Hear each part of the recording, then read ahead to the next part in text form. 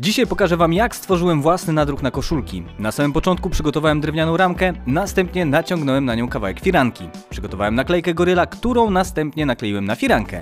Teraz czas na farbę i przeciągnięcie po koszulce. Dzięki tej technice amatorskiego sitodruku udało mi się zrobić koszulkę. Niestety nad trwałością muszę jeszcze trochę popracować. Subskrybuj po więcej.